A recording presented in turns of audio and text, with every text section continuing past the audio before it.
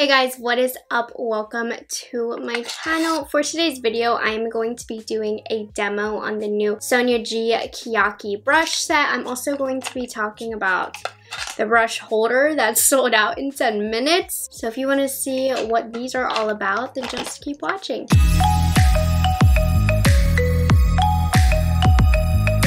Hi guys, if you're new here, my name is Morgan. I am a product knowledge enthusiast. I just love knowing anything and everything about all of the new makeup that comes out on the market. And my newest pickup, well not mine, my mother's newest pickup was the Sonia G Keyaki brush set. My mother and I are big fans of Sonia G brushes. I was definitely going to order this brush set for myself, but when my mom told me that she was definitely going to order it for herself, I was like, let me try yours first, and then I'll make an educated decision after. So I may very well pick these up for myself, but definitely took advantage of my mom taking the plunge before me. So along with the Keyaki brush set, Sonia G actually actually launched a brush holder as well. I want to get this one out of the way because it currently is out of stock. It literally sold out in 10 minutes. Listen to this. This brush holder is $190. It's called the Cranes over Mount Fuji wooden brush holder. Very, very luxurious, very cool. And let me tell you, okay? This is so smart. It's very, very thin, as you can see. I feel like I never thought of a brush holder being thin. It just makes sense, so that way you're able to see your brushes in a line. Just so you can see, there are five compartments in here. I have three Sonia G face brushes, so about three are going to fit in each section. As we get to the thinner brushes, more will fit, but overall, the idea is that your brushes will all be in a line so you'll be able to see everything. There's like a truck out front making a lot of noise. So this brush holder is a limited edition and if you take a closer look, you can see all of these carved designs. This is such a cool brush holder. For myself, I probably wouldn't have purchased it. It doesn't really match in my room, but the design, I really, really love the design. Anyways, I did just want to share that with you guys. Let's get into what I personally was most excited about, but a lot of you guys were excited about the brush holder apparently. We have the Keyaki brush set. So this guy is $125. If you're familiar with the prices of these Japanese handmade natural hair brushes. It's not a bad price for five brushes, which sounds crazy, but for example, the Sky Eye set, which I have a few from in my brush holder here. I love that Sky set. Anyways, it was $160. These are a little bit more affordable because they are actually a little travel size. So for lengths comparison, you can see the height difference here. These are a cute little baby bundle. Now, I have very small hands, so these fit in my hands perfectly.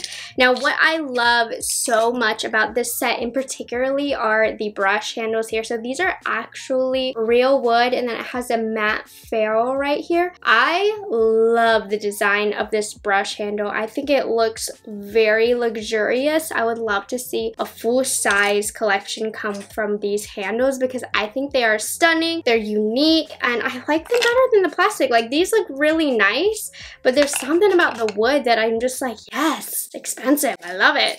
now online, this set is currently available on Beautylish. It does say this item will ship on or after December 23rd. That's happened to me before and I felt like I still got my products very, very fast. I don't know purchase with caution. Somebody let me know if that's actually true. Now the concept behind these brushes is that they're supposed to be able to pretty much give you a full face and they're travel brushes. Now obviously I always say, oh I love this for traveling but I don't travel. Even if COVID wasn't a thing, I don't travel. But I will say there have been occasions where I've packed my makeup bag before and I was so proud of myself for getting it all filled and squeezing it all into one bag and then being like, I forgot the brushes and then I couldn't make my brushes fit. This could fit into any makeup bag. I feel like it is so small. It really is perfect for travel. Let's go on to what is in the set here. So you get two face brushes and then you get three eye brushes. And I'm looking over here on my computer just to make sure I'm giving you guys the right facts. Let's start off by talking about the face brushes. Now both of these are completely new to the Sonia G line, so you will not find another brush like these in the collection. So the first one that we have here is the mini base brush. Now the mini base brush is actually a mixture of the white Saikoho goat hair and synthetic hair. So this brush can be used with liquids and creams as well as powders. So this guy is very versatile because of that synthetic hair mix. Now the classic face brush here is just white and dyed Saikoho goat hair. So there is no synthetic mix in here. And it's a little bit more on the flat side. I did wash all of these brushes by the way. So they are a little bit more in their true form because they've been washed. And for example, just size comparison, if you have the Sonia G Cheek Pro, this is kind of how it would compare to that. Now the recommendation for this is you can use it for all types of different face powders. Now with the eye brushes, these are all shapes that are already existing in Sonia G's line. They just are undyed hair, so now you're supposed to be able to use them with creams and they're not going to get messed up and you can keep the bristles safe. So the shapes are existing, but the fact that they're undyed, you can now use them with creams. Here is the Jumbo Blender. I do have it here with the dyed Jumbo Blender from the Sky Eye set. So you can see they are the same shape. It might be a little bit different based on what's been washed and how they've dried, but they look like they're the pretty much same exact shape, same density. In some cases, I would say this one might even be a little bit softer. You also get the mini booster. I absolutely love this shape. I feel like it is so versatile for what you can do with all of the different eye looks. And you can see here it is compared to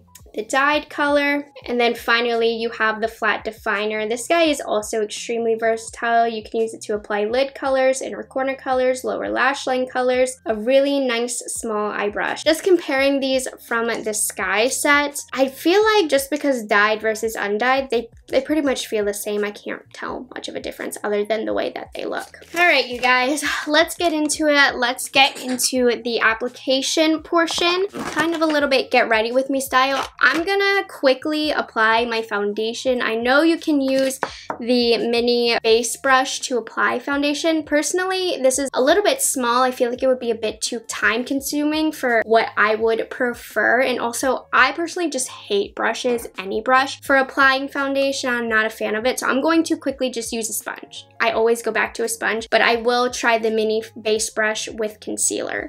All right, let's get into this cream application. Like I said, big time time sponge girl here. Don't like using brushes to apply my cream base products. Literally, I don't use brushes even for cream bronzer or blush. But for the sake of you, Sonia G, we will do it. So I just applied the Too Faced Born This Way concealer. We're going to use the mini base brush.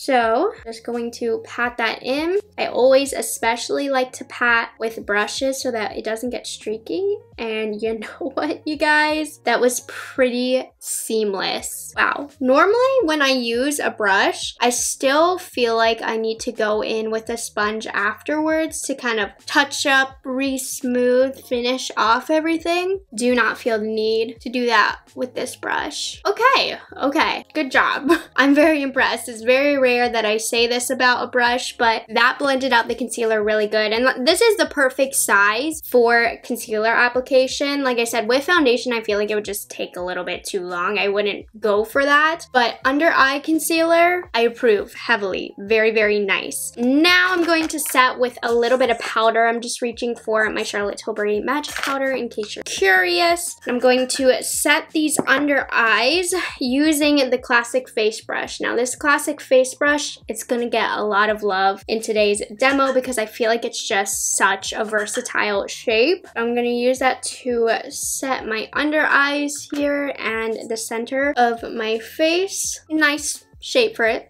applied very good, very soft. Now let's do a little bit of a cream application for cream bronzer. So I'm using my Huda Beauty Tantour. We're going back into the mini base brush and I'm just going to dip it in here. And this is really great for a pinpointed application of cream bronzer. Normally I like to still use a sponge for cream bronzer because I feel like it applies a seamless blend because it's a little bit more fat. So this one, it's a little bit small, so it's really great if you want to pinpoint certain areas. Normally, I definitely just prefer a more blended out kind of look. I don't really do too much with precision as far as cream bronzer goes, but this is still doing a really nice job. I love how it works the product out. Really nice, really nice. And it's not pushing the foundation underneath either. It's really just working out that cream product. Okay, that brush is really, really good. I do approve of this mini base brush. I like it. It's really nice. So if you like to apply your creams with a brush, you will enjoy this. Let's finish off the face though. I want to use a light powder to set the bronzer. So I'm just using my Makeup Forever Pro Bronze Fusion and I'm going into the classic face brush and we're just going to use that to set over top. So this is still a very nice shape for bronzer as well. Normally I would probably use a bigger bronzer brush, but it's just a tiny bit too small for my preferences. It still is really nice, workable shape. Let me wipe this off because we're just gonna go in with some blush and highlight while we're at it. I'm gonna use this brush for all of it. We're going to use Wayne Goss Coral Rose. We're gonna start off with the blush. So I'm going to apply this more for a wide application. So for bronzer or more of a precise application, you would apply it like this. For blush, you kind of use one side of it and pat it on. Really nice. Now this blush is a pretty sheer blush, but the natural hair does such a good job of picking up the product. So that's one of the great things about natural hair versus synthetic hair is how well it picks up powders. Now to dip into the highlight, I'm to use the top of the brush now so we can get more of a precise application. I love this highlighter by the way. Side note, beautiful highlighter. Now I think typically for a highlight brush, I'd go for something smaller, but it certainly is something that you can make work. You know, if you're just traveling or you needed to throw some brushes in a bag, this is a very, very versatile brush that you can use for your whole face powder application. All right, now we're gonna move on to the eye application. We're gonna do this whole eye look using just three brushes. Oh, I should have used this guy. Hold on, excuse me. Have it. I'm gonna use the base brush, blend out the concealer. Lately, I've been using the Too Faced Pumpkin Spice palette. It took months for me to finally open it, and I'm using it for the third day in a row, so it's going pretty good. I'm gonna start off with the Jumbo Blender. We're gonna dip into whipped cream, and I'm gonna use this to set underneath the brow. So what I like about this is it has a flat side so you can use it to pat color down. But when you use it this direction, you actually can use it to blend. Now the one brush that I feel like is definitely missing from this eye set is I would prefer more of a fluffy blender brush. Like for me, this is the brush that I probably could get rid of and replace it for a fluffier brush. But it still works. And we're gonna dip into Sweetie Pie. And like I said, we're going to turn this brush so that the top is against the skin and we're going to use windshield wiper motions. And when most of the eyeshadow is on the skin and not on the brush anymore, we can blend it out. And this is really, really great with those windshield wiper motions. It just fits my eye perfectly. When you have mostly a clean brush, you can go out and really blend those edges.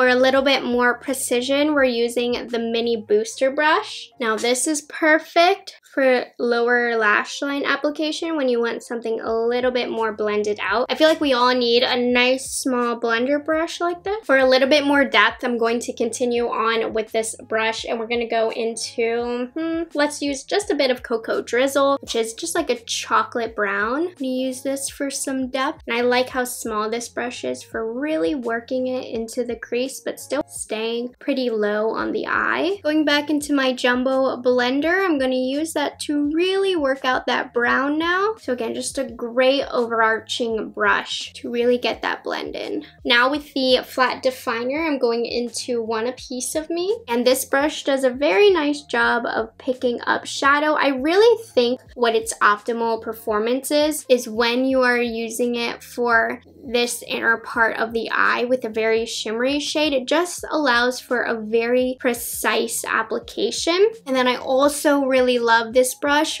for inner corner colors. It's perfect just to get right in that area. I did just use my finger to apply Oh My Gourd all over my lid because no brush can pick this color up. It's just that kind of texture. Still sticking with the flat definer, I'm gonna finish this look up by using the Wayne Goss highlighter and just popping that into the inner corners. And this is what I'm talking about. It's just the perfect size for sneaking that color in there. All right, I'm gonna finish the rest of this look and then I'll be back to give you my final thoughts on these. Okay, I'm back. I know, dramatic lip. I'm wearing Pat McGrath Ground Control Lip Liner and Propa Beauty Believe It Lipstick. It's so good, so great for this time of year. Final thoughts about the Sonia G Keyaki set. I think it is wonderful, especially if you are first getting into Sonia G, just because it is a little bit more affordable. I think the brush handles are stunning and the shapes are really great. Definitely surprised by how much I love the mini base. It really does push those liquid products into the skin with ease without leaving streaks. This classic face brush is just so versatile. It really is is the perfect travel brush. And as you can see, it was very easy for me to create a whole eye look with these three brushes. For me, if I was traveling with this, I would bring a sponge and then an additional fluffy blender brush. But other than that, I think I would be all set with this. So I think it's really great. I think she did a fabulous job and I would highly recommend it. So that is all I have for today's video. I hope you guys enjoyed it. If you aren't subscribed to my channel already, I would love it if you would consider taking the time to do so. I will see you guys in the next one. Bye guys guys have a good one.